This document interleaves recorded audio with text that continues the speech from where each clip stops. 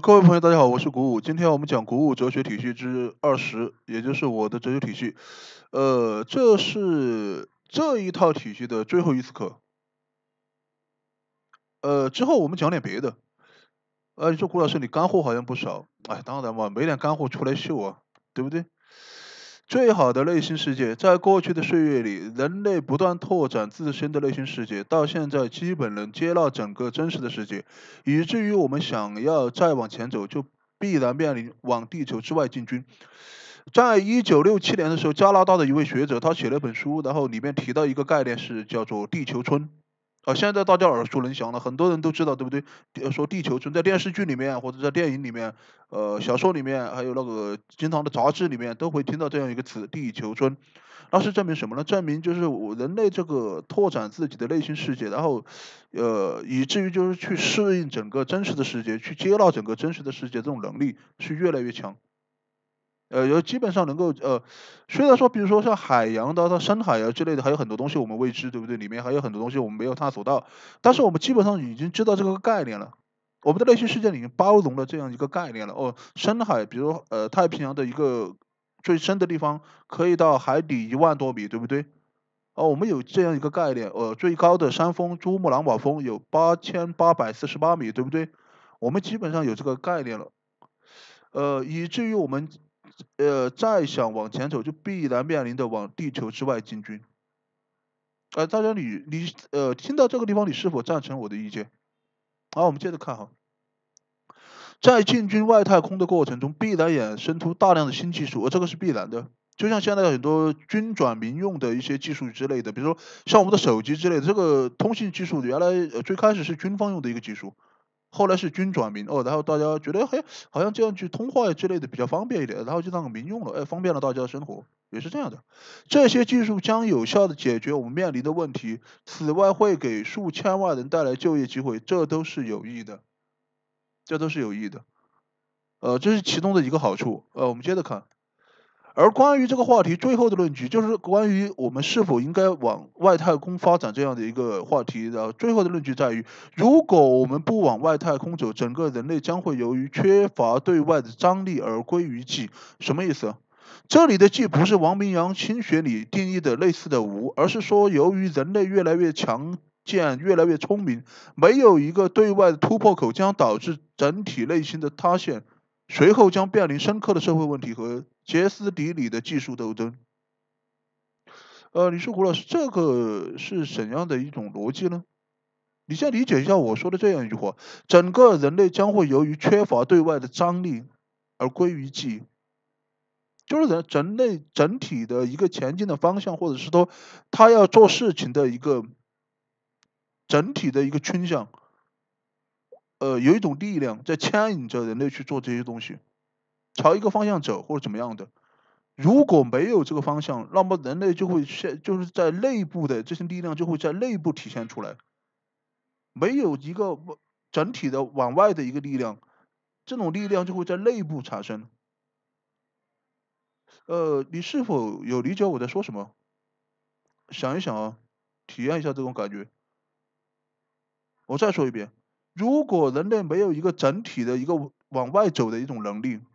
就是朝一个方向，比如说我们要，呃，打造一个绿色的地球，我们要打造一个非常，呃，和平的世界，我们要往外太空走，这都是整体的一个趋向，整体的一个力，对整体的人类而言是一个整体的一个力。如果没有这种力，那么人类整个社会就会的力就会在内部作用，在内部作用的是什么意思呢？就是一些深刻的社会问题，比如说就会涉及到一些暴力的冲突啊，或者是一些技术的斗争啊等等一系列，这是利在内部的一种体现，利在内部的一种体现。没有一个对外的突破口，将会导致整体的内心的一种塌陷。它要需要一种牵引力，需要一种牵引力，牵引着人类往外走。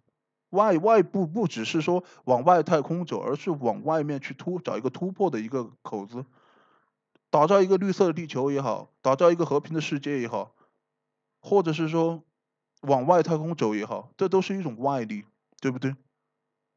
呃，体验一下这种感觉哦。好，我接着讲。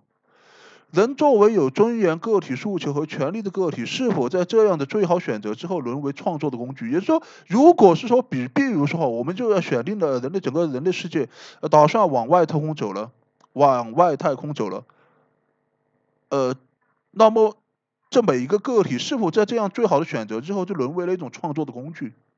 就是不是每个人就像一个零件一样，像一个螺丝钉一样，在这个浩瀚的或者庞大的一个工作体系里面扮演的一个螺丝钉的一个角色？我们的解释是这样的：改造这个真实世界的过程，为这个真实世界创造的过程，本身就是关于人类最佳的解放方法。嗯，你说这是什么一个逻辑呢？呃，我们接着看后面，然后我再回过来讲。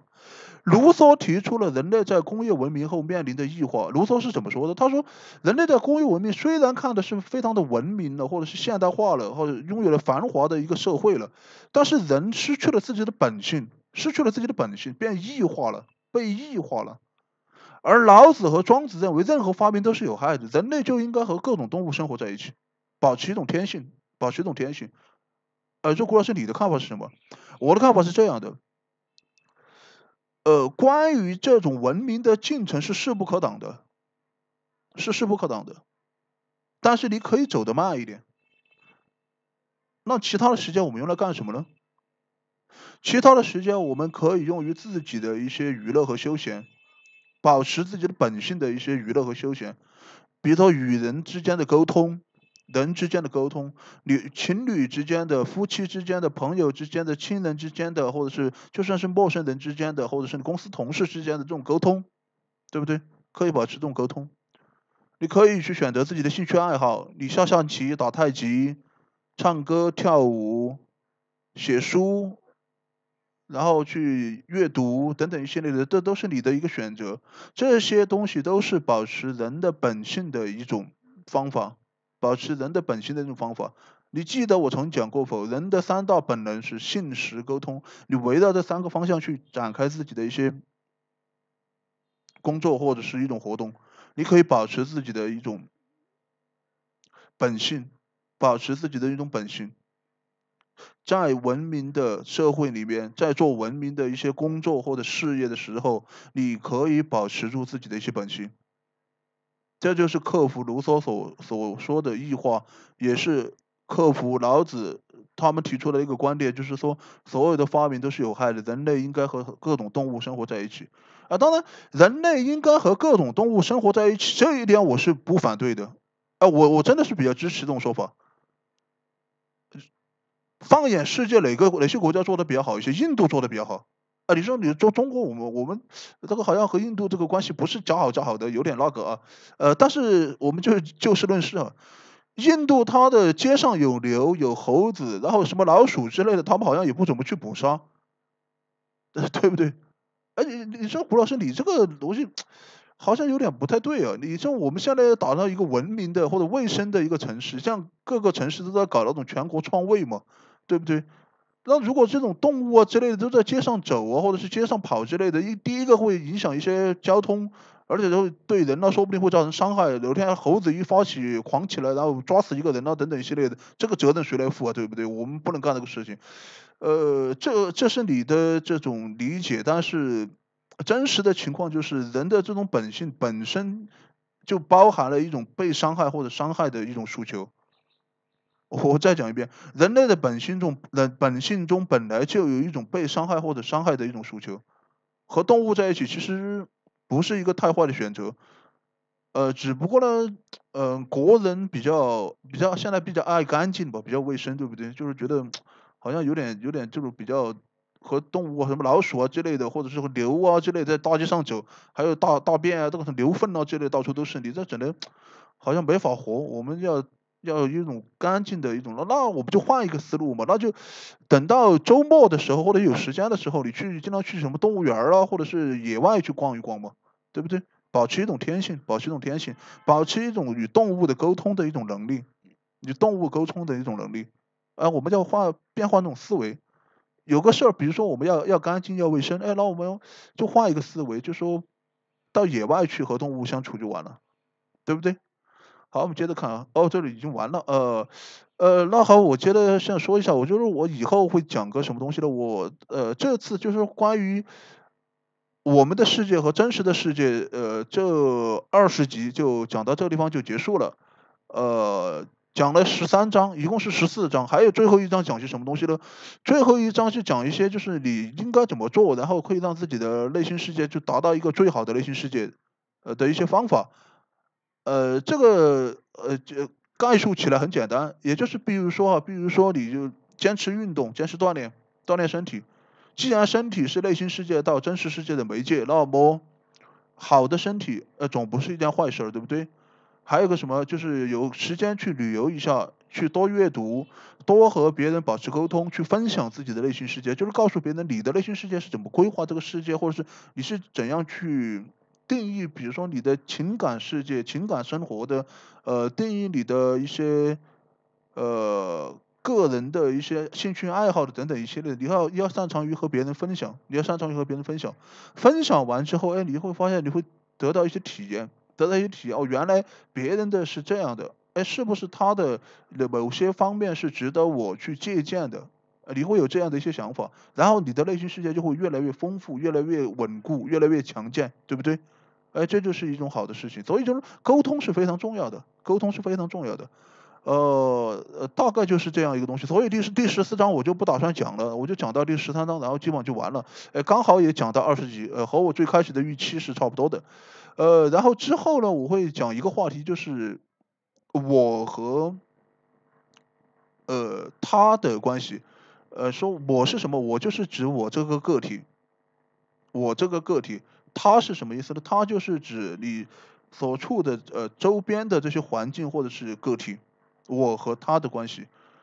呃，然后会讲到一些东西，呃。我相信会对大家有些帮助，呃，希望大家就是在下一次的时候也来听下我讲的东西，呃，讲完之后呢，然后我可能之后我再会讲一些，比如像海德格尔啊，或者是了胡塞尔的一些哲学，然后最后的时候可能会讲一些呃当代的哲学家的一些体系，呃，也欢迎大家来听一下，呃，好，呃，我的 QQ 是幺三幺八四三五九，呃，如果有想和我探讨学术方面。音乐方面、生活方面、旅游方面的朋友，敬请与我联系。